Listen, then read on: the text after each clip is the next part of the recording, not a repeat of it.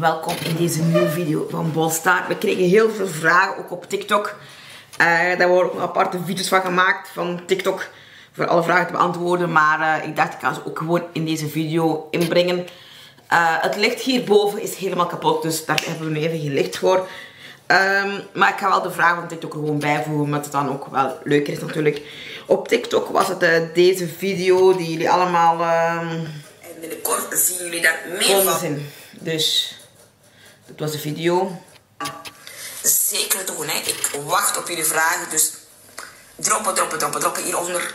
Allemaal jullie vragen. En uh, er zijn zes reacties opgekomen, denk ik dat er zes zijn. Uh, dus ik heb er ook persoonlijk op gereageerd. Wat is jouw grootste droom? Mijn grootste droom, uh, heb ik daar ook toen op geantwoord, was natuurlijk Giet te ontmoeten. Ondertussen is die droom natuurlijk ook waar geworden. Ik heb ze kunnen ontmoeten. Um, maar ik geef natuurlijk, natuurlijk het eerlijk antwoord. Dus dat was, ja, dat is mijn grote droom eigenlijk. En um, ja, wat nu nog mijn grote droom is, er helemaal uitzien als een jongen. Wat is het ergste droom? Wat is jouw ergste droom zijn? Uh, wat mijn ergste droom zal zijn, is dat uh, nog meer mensen uit de familie zouden sterven. Zoals mijn broer bijvoorbeeld. Uh, dat zou ik wel heel erg vinden eigenlijk. De rest durf ik niet uitspreken, want uh, u brengt een ongeluk. Waar kan je totaal niet tegen? Ik kan totaal niet tegen tegen mensen die afspraken maken. Bijvoorbeeld, ik geef maar een voorbeeld. Uh, ik maak met jou een afspraak uh, om bijvoorbeeld morgen te komen. om twee uur bijvoorbeeld. En ik, ik zit daar de hele tijd op te... Allee, ja, moet ik het uitleggen? Op te verlekkeren eigenlijk. En om half twee of iets daarvoor belt jij mij op van ik kom niet. Ja, dan dat vind ik helemaal niet leuk. Het hoeft te maken met mijn autisme, omdat ik ook een planning moet maken. Ik moet daar ook allemaal uh, goed allemaal noteren om er echt een goede planning van te kunnen maken. Zodat ik weet van dat uur komt die persoon en zo van die dingen allemaal. Het is dan niet gemakkelijk met die corona, dus ja, daar kan ik echt totaal niet tegen. Maar ook kan ik niet tegen tegen mensen die echt wel heel liegen. En ook mensen die mij totaal ehm, blijven proberen om met mij bevriend te zijn en uiteindelijk toch weggaan. Dus dat vind ik ook niet leuk. Wil je ooit vader worden? Ja, is eigenlijk een vraag die ik nog nooit heb gekregen. Meestal vragen ze, wilt je kinderen? Um, wil ik vader worden? Ik kan er eigenlijk niet echt op antwoorden. Want ik denk wel dat ik ja, in die rol misschien wel kinderen wil. Um, maar ik kan er niet echt op antwoorden. Dat hangt er ook van af of dat ik bijvoorbeeld uh, um, ja, een leuke vriendin vind. En dan ze zegt van ik wil kinderen. Um, ja, misschien wel, misschien niet. Ik, ik, ik weet het eigenlijk niet. Ik kan niet zeggen ja, maar ik kan ook geen nee zeggen. Want ja, als het dan toch ooit ervan komt, dan gaan mensen zeggen, ja, maar jij zei het toch. Hè? Dus ik weet het eigenlijk niet. Ik kan het nu, nu momenteel wil ik zelf geen kinderen, maar dat is omdat ik alleen ben. Ik ben helemaal alleen, dus ja. Um, ja, ik, ik, ik ben eigenlijk momenteel gelukkig hoe het nu is. Um, maar ik zou natuurlijk wel graag uh, iemand leren kennen die ook bij mij past. En wie weet dat we dan in dat respect eigenlijk wel kinderen willen. Misschien wel, misschien niet. Ik, ik, ik weet het eigenlijk niet. Ik vind het een heel moeilijke vraag, maar ik vind het wel een leuke vraag. Dat ze stellen op TikTok. Uh, gesteld trouwens door Nelen. Uh, nee, ik kan er eigenlijk niet zo goed op antwoorden eigenlijk. Of ik kinderen wil of niet. Ik zeg het... Uh, ja, ik heb... Momenteel zijn mijn konijnen en mijn kat... Uh, een beetje mijn kinderen. Dus ik, ik weet het eigenlijk niet zo goed. Ik geef het eerlijk toe. Val jij op vrouwen of op jongens? Ik val momenteel op vrouwen. Die vraag die komt zeer veel voor eigenlijk. Ook als ik live kom, val je op meisjes, val je op jongens, bla bla bla. Um, ik val op vrouwen. Dat is wel heel duidelijk nu ook. En als ik nu uh, momenteel, omdat ik aan nu de hormonen krijg en zo allemaal nog een beetje mee omgaan, uh, merk ik vooral dat het, um, ja, als ik nog maar naar een vrouw kijk, dan natuurlijk af welke vrouw het is. Ik ga geen beschrijving geven, want ik ken jullie allemaal een beetje. En dan beginnen er ook weer op te fantaseren. En wie weet, wie komen jullie uit?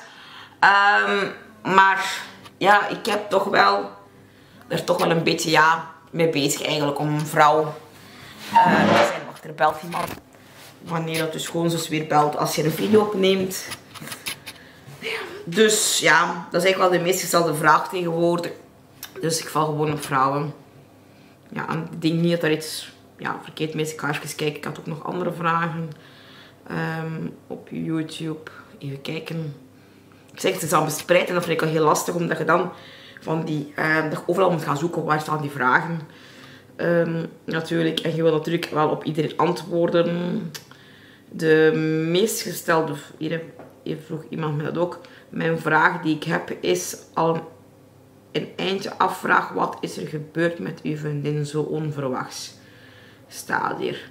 En Kitty DL vindt dat dus ook een vraag. Helaas eh, kan ik daar niet op antwoorden.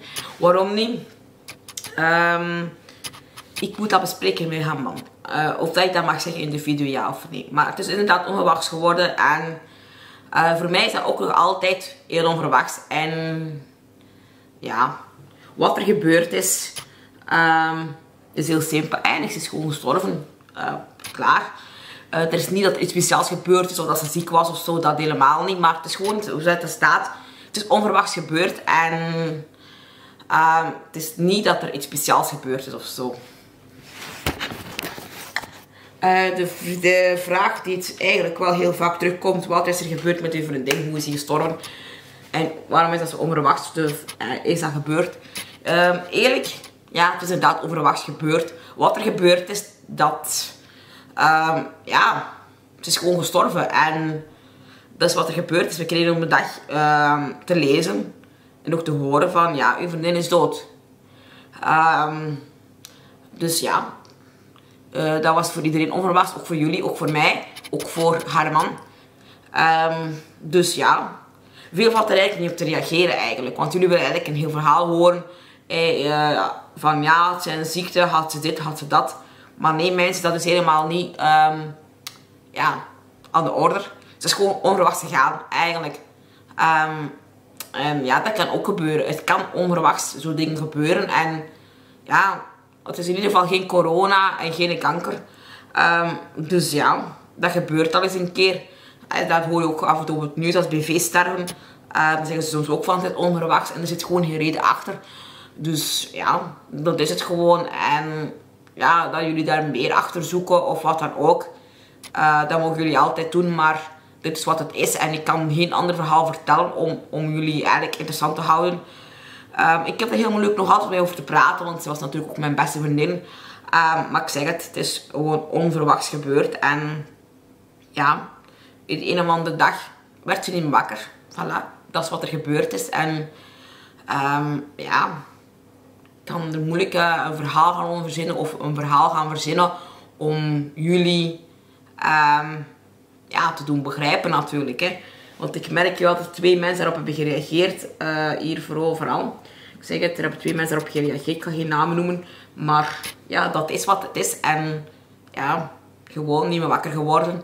Ik heb het dan uh, s'avonds gelezen en gehoord. En dat is nog altijd iets wat dat ik nog altijd niet verwerkt heb. Uh, waar ik zeker nog een tijdje mee ga lopen. Maar ja, dat is wat het is. En ik kan geen ander verhaal verzinnen om jullie daarin wakker te maken. Jullie mogen dat ook honderd keer vragen. Jullie zullen honderd keer hetzelfde antwoord krijgen, helaas. Dan uh, hebben we hier nog een vraag. Welk liedje van Jean Thomas vind je super mooi? Uh, ik vind eigenlijk alle muziek van Jean Thomas mooi, maar vooral voor haar. Uh, vind ik wel een heel mooi liedje van Jean Thomas. En ook, um, hoe noem het dat nu weer? Um, kom je thuis met kerstmis, denk ik. Um, ja, ik vind eigenlijk alles wat je Thomas zingt, heeft eigenlijk al een mooie boodschap. Ook gelijk waarom. Dat vind ik ook wel. En uh, het spel vind ik ook wel een hele mooie. Dus ik vind eigenlijk al iets wel, leuk van Jean Thomas. Welk moment zou je nooit meer vergeten met je mama en je vriendin? Um, dat was toen dat we samen aan tafel zaten. Ik samen met mijn mama en met Miranda. En ik denk dat Neel er toen bij zat. En toen we echt zo... Um, ja, een vlog maakten en we stelden vragen aan elkaar. En, en dat was echt wel chill om dat, om dat mee te maken eigenlijk. Uh, maar ik zeg, ik heb heel veel mooie herinneringen met Miranda gehad. Um, en nog steeds, die ik altijd al terug kijken. Vooral toen we samen zo echt wel vlogden en wij heel veel plezier maakten. Dat ik ook zo zei van, ik heb hier een ring bij me met trouw. Terwijl ik ook weet dat zij getrouwd is. Hè. Um, en um, ja, zo die herinneringen eigenlijk allemaal. Het is jammer dat wij er zelf ja, nooit iets meer aan kunnen doen hebben. Nooit kunnen zeggen hebben van dat we wel wat plannen eigenlijk nog wel om samen echt eens weg te gaan. In plaats van achter de camera te zitten. Uh, bijvoorbeeld eens naar Gent te gaan of zo. Dus dat is wel iets wat dat nooit kunnen gebeuren is. Ja, en met mama heb ik vooral uh, mooie herinneringen als um, vrienden maken. Um, bijvoorbeeld uh, naar K3 gaan. Um, ja, zo van die dingen eigenlijk allemaal. Ik zeg, het zijn heel veel mooie herinneringen. En nu als ik naar K3 kijk, bedoel dat wel met Christel erbij. is het heel moeilijk. Met de nieuwe K3, met Han en Klaas en Marten is het iets minder moeilijk. Waarom? Omdat wij eigenlijk ja, niet zo heel veel herinneringen opgebouwd hebben daarin. Samen met mijn moeder, dus met Christel. Met die K3, met Christel bij, zei ik altijd. Het gemakkelijker, want als ik moet zeggen Jos en Kathleen, ja, dan begint het spel weer. Hè. Um, dan is het, is het eigenlijk meer herinnering, omdat wij ook van in het begin daarin zitten. Dus dat is eigenlijk heel moeilijk om dan muziek te horen ervan. En dat is nog altijd heel moeilijk. Ik zeg ook altijd, juffer, dat muziek wil ik niet horen, want dat ligt moeilijk.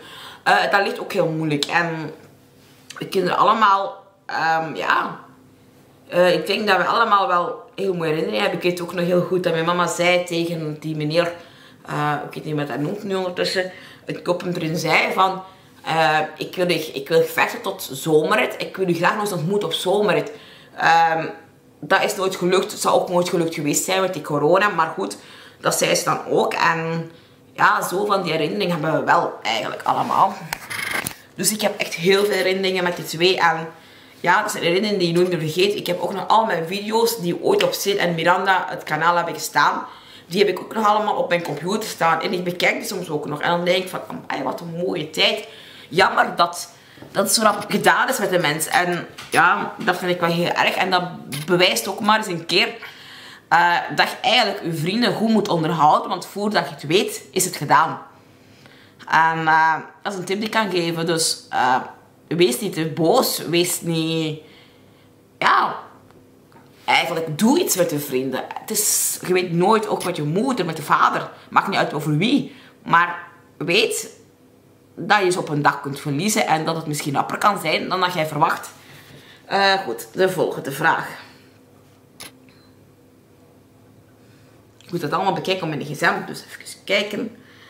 Wat vind je leuk om op TikTok te live te gaan? Ik vind het echt leuk om op TikTok live te gaan. Ook omdat ik mensen kan promoten. Maar ook omdat ik nu in team positief zit. Team positief is eigenlijk wel heel leuk. Ik ga het even reclame maken. Dat zal ze wel niet erg vinden. Even op TikTok even zoeken. Uh, team positief is eigenlijk... Um, ik heb die ontdekt. Eigenlijk um, door gewoon um, te scrollen op Facebook. En dit is de persoon. Gaat dat om jullie zuivering te maken? Echt, je zien? Dus ja, nu wel. Dus dit is team positief. Maar team positief is ondertussen ook meer geworden. Dus ik zit ook in team positief eigenlijk. Uh, en we hebben echt ook een groepchat waar we eigenlijk team positief zijn. En als één in live kan, dan gaat de andere live eigenlijk. En door TikTok heb ik ook al heel veel mensen leren kennen. Zo like Mitzi, Anneke, uh, heel team positief. Uh, ook Gieten, uh, Silke, nog andere mensen natuurlijk. Ik ga ze niet allemaal opnoemen, dan heb ik zo'n lijst. En, maar ik merk ook wel dat me dat echt wel deugd doet, team positief. Dus het is echt wel team positief. Je hebt ook kunnen zien trouwens in de video met de kaars.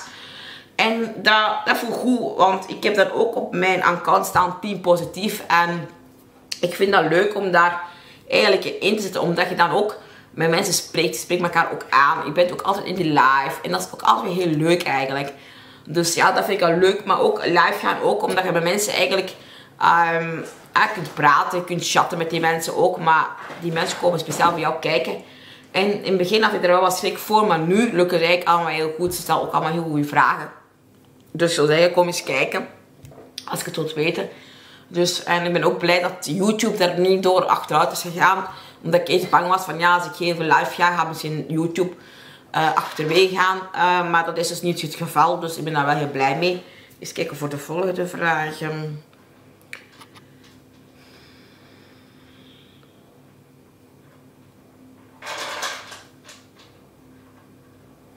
Want ik zeg het, er zijn heel veel vragen gekomen. Maar dat is heel moeilijk om te zien. Um,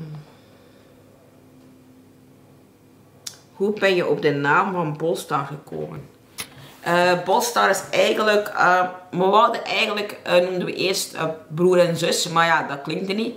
Um, en dan zijn we beginnen zoeken met onze naam, omdat Kenny natuurlijk ook in het team zat.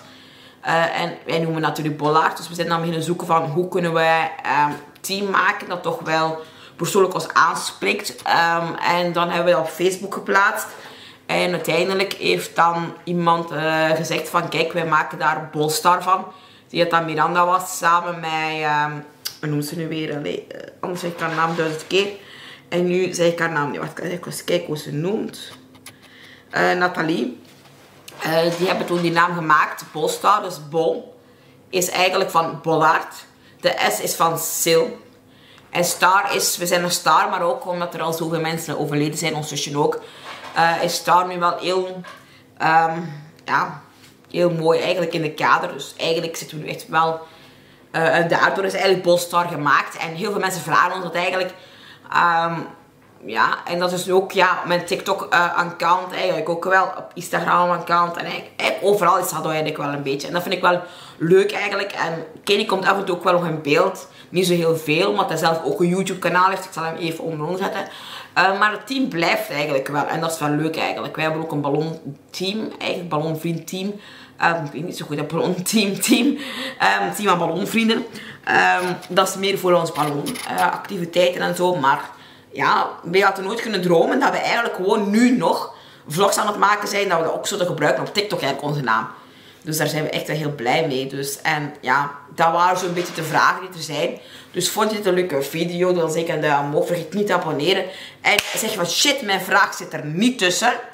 Of, mijn, ik heb een vraag voor je te stellen. Hieronder in de comments kan je je vraag nog altijd stellen. En dan ga ik die zeker en vast ook nog beantwoorden. Dus uh, zeker doen. Tot ziel!